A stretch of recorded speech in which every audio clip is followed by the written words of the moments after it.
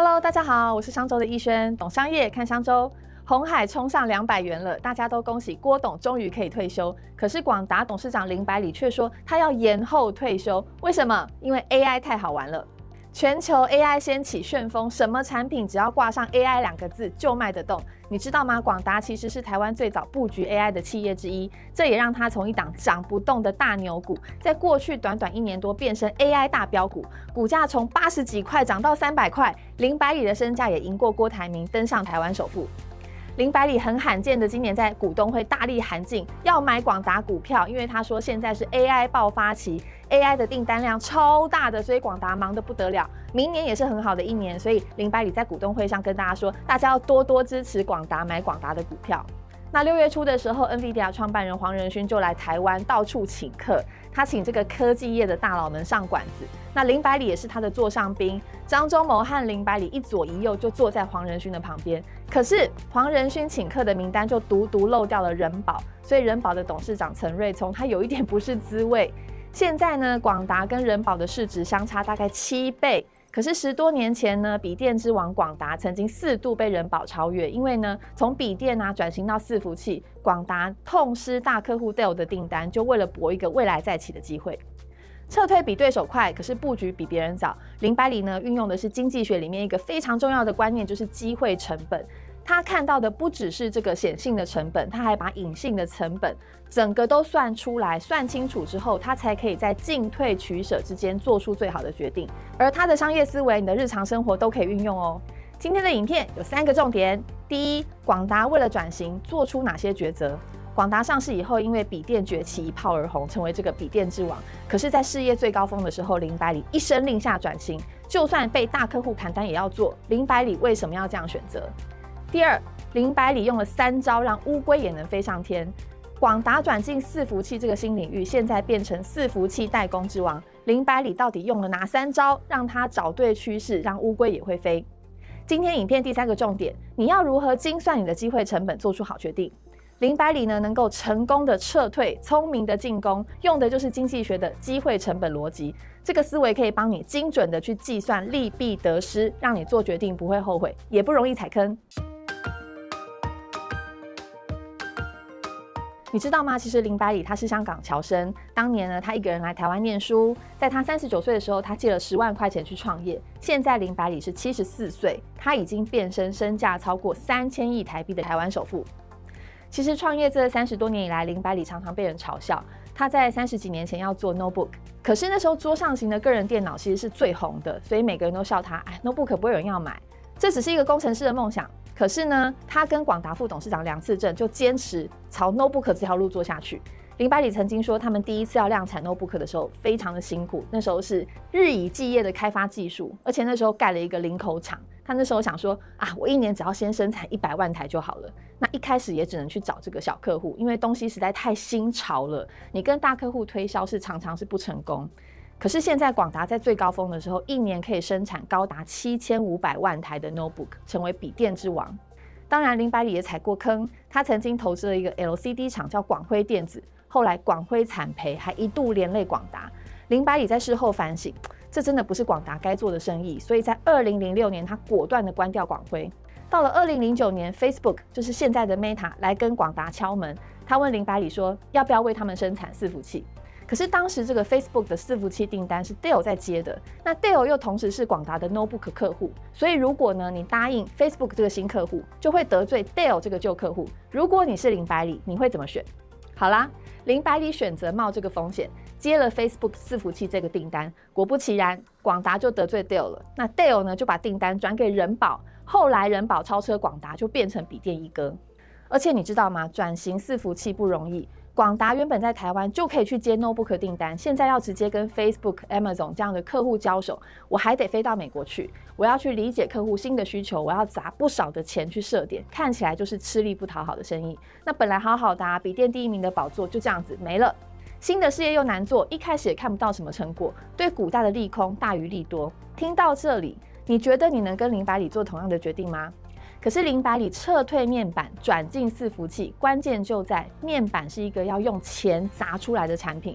那伺服器呢？它不但是做未来的事情，还可以把广达原本最擅长的代工发挥到最大。零百里的取舍其实是一个精准的选择。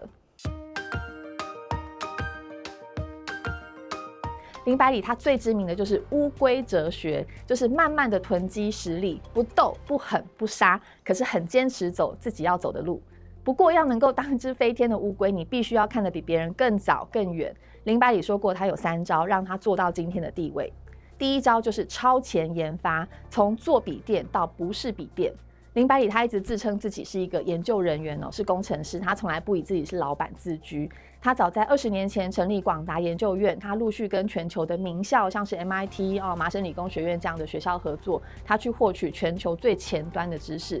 例如在这个 notebook 最夯的时候，他们其实就在想 notebook 笔电到 notebook 没有笔电的未来。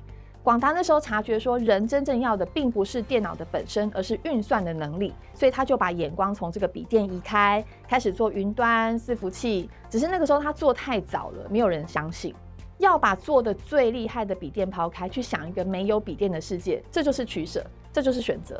那到现在呢，广达非笔电的营收已经超越了笔电的营收了。广达如今已经不只是一家笔电代工大厂。第二招精准行销，从小客户到大客户。林百里说过，创业早年广达很小，所以他们先找小客户的生意做，但小客户的订单很不稳定，所以广达是有一餐没一餐的经营。后来呢，他们改锁定大客户，一开始很难接到订单，可是广达的东西很新颖，所以大公司听他们画图解说几次之后，就愿意买单。让他们有信心开始锁定产业前十名的客户。我们可以看到，广达现在的伺服器客户都是全世界最主要的业者，像是 Meta、Amazon 都是广达手上的客户。第三招呢是韧性制造，也就是落地的功夫。广达从一间小工厂变成年产数千万台的大工厂。林百里说，他们不只是能够让产品 time to market，就是及时上市，他们还可以 time to volume，就是及时的产能。这个听起来不太好懂，其实这代表广达是有能力去精准的备料、精准的出货，让客户有订单需求的时候，他不只是拿到样品，还可以拿到产品，所以广达跟客户都可以创造营收。那林百里还说啊，未来要建立更多的智慧工厂，去把这个产量提升。可是智慧工厂要花钱啊，还是一笔不小的投资。所以如果你不是清楚的看见未来的趋势，你要做这个决定，其实也没这么容易。我们听完林百里的三招，其实可以把它收敛成一个经济学的观念，就是机会成本。简单的说，你要真正计算一件事情的成本，你要同时去计算显性的成本跟隐性的成本。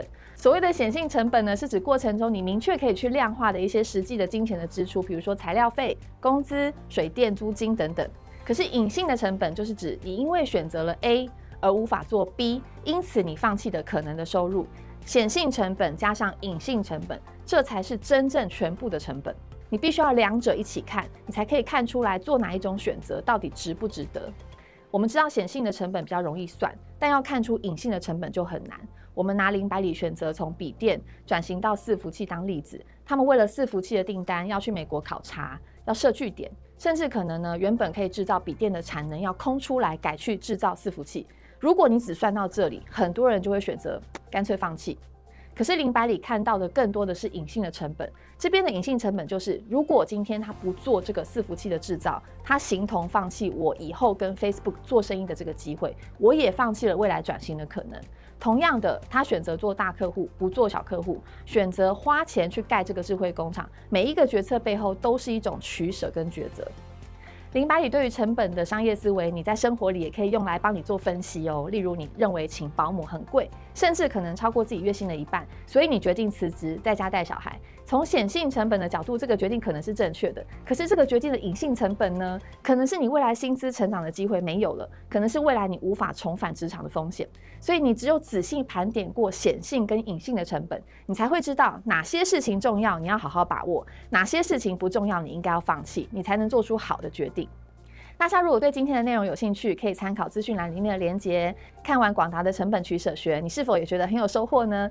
在这里，我要推荐你一堂线上课《商业周刊》二零二四年最重磅的线上课——白话商业思维商周精选三十六案例，开卖喽！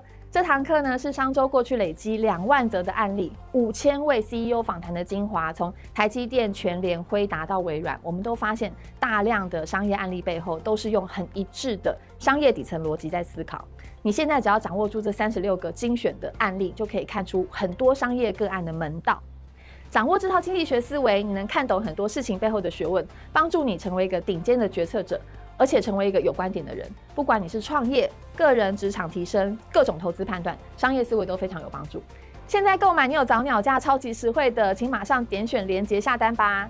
如果你对今天的影片有任何想法，欢迎留言告诉我们。喜欢的话，帮我们按个喜欢、订阅、开启小铃铛，谢谢你的支持。我是商周的逸轩，懂商业看商周，我们下期见，拜拜。